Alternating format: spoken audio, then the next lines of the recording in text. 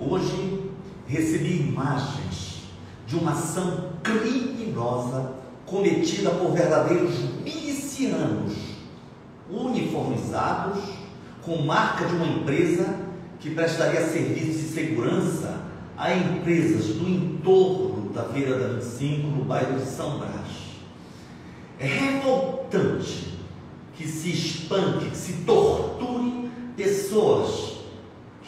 têm uma negação do seu direito à cidadania por viverem em condições difíceis nas ruas. Dentro da Feira da 25, um cidadão, sem motivos concretos, por suspeita possivelmente de que teria se envolvido em algum ato ilícito fora da feira, um cidadão foi violentamente espancado por vários criminosos, torturadores, milicianos. Na condição de prefeito, eu repudio.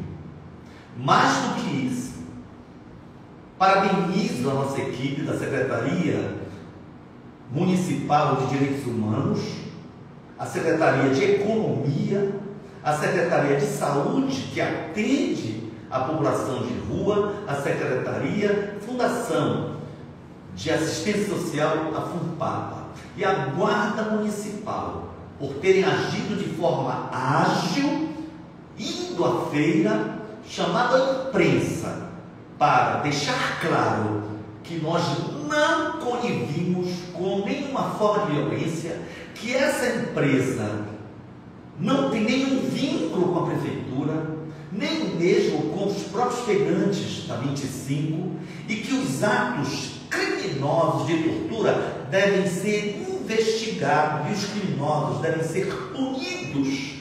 E tortura é crime inafiançável, portanto, devem ser presos imediatamente a bem da paz social. Não se admite esse tipo de violência contra seres humanos contra seres humanos que estão em situação de rua. Por isso, notificamos os órgãos competentes.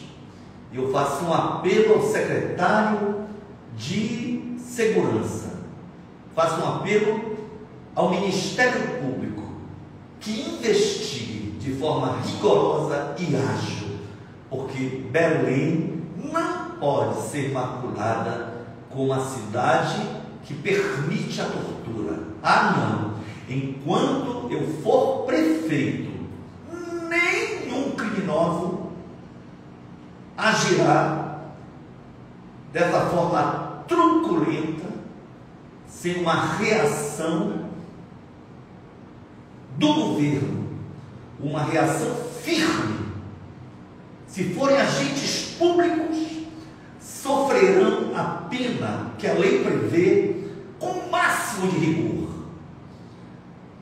Como no caso em foco, não são servidores públicos nem empresas que trabalhem para a prefeitura, apelo aos órgãos competentes que investiguem e que a justiça puna para que não tenhamos mais esse exemplo de barbárie contra os direitos humanos.